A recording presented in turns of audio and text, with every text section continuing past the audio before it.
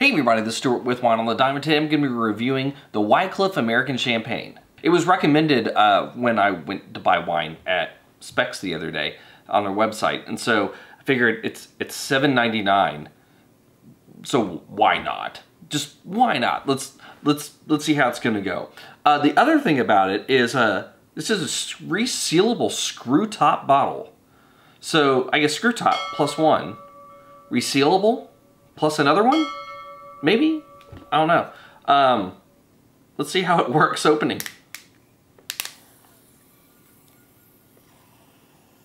Oh, that sounds dangerous.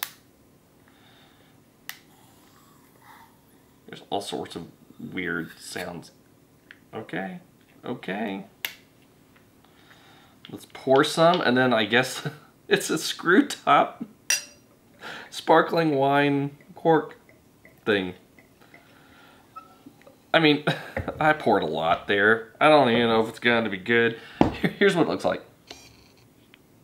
Yeah, so uh, it says basically screw it in until you hear it click twice.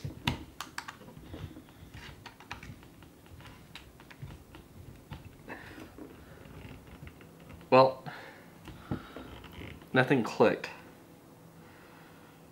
Good enough. Anyway, from a color standpoint, I'm going to give you a Pale lemon, no artifacts, no cloudiness. Also to note, almost no carbonation coming out of this thing. So um, either just opening it made it go flat or just this has very, very low carbonation to begin with. Uh, anyway, on the nose, medium intensity on the nose. It smells like a little bit of apple and pear cider. This might be a fast review today. Uh, let's get to the taste. Believe it or not, it's not horrible at all. It's it's it's it's not complicated. It's apple, pear, a little bit of lemon. That's it.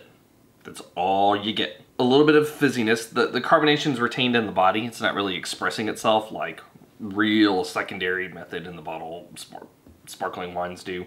There's no offensive taste. Pretty much a clean, almost clean finish. Just maybe seven, eight seconds. Uh, it has medium body, high acid low alcohol taste. Actual like bubbles that you get, the, the, the frothiness, once it moves around in your mouth, they're they're decent. They're not too small bubbles. They're not too big. They're not, they don't feel rough with the acid. I'm actually a little surprised by this. One thing I will say is as you move it around a bit and the acid kind of accumulates to your palate, that, that lemon goes to like a like a weak lemon candy in terms of like, it's not super sweet, it's just there, but it's like a candied lemon. I mean, there's really not much to say about this wine, so let's get to the BLIC. Uh, in terms of balance, I'll actually give you a full point here. I don't, I don't have any complaints. Length, you're almost a clean finish, so I'm not going to give you any points. Intensity, medium across the board, half a point. And in terms of complexity, you're not complex. So, I mean, as a sparkling wine, this is an okay wine. I mean, it's one of those where if you have someone who's really not into complex sparkling wines, they don't like something super sparkly. This isn't bad. They're gonna enjoy it. It's, I mean, you could also use it as a base for like mimosas and stuff. It actually has a nice little fizziness and has some decent flavors on its own. High acid, so it can be worked into mixed drinks really well. Well, but um, it's not like it's not anything you're gonna get from champagne. Okay, but now we have to do what we do with all sparkling wines on this channel, unless I'm a dumbass and I forget. Does it Chambong? All right, so I have the, the trusty Chambong here. Uh, yeah, let's see how it goes. Cheers.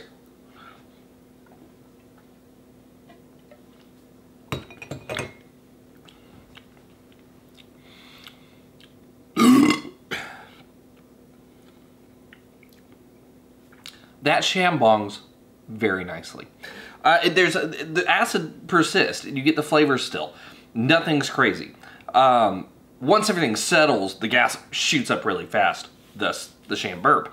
Yeah, it, it doesn't hurt to drink, and it doesn't make the flavor taste off. It retains all the same quality, so yeah, it's Chambongs. Anyway, this has been Stuart with Wine on the Dime. If you like today's video, please like, subscribe, and comment. Have you had the Wycliff American Champagne with the fancy schmancy resealable screw top? fancy schmancy. Remember, double points. I'd be interested to know if you have. Leave a comment below, and I'll see y'all again soon with another review from Wine on the Dime.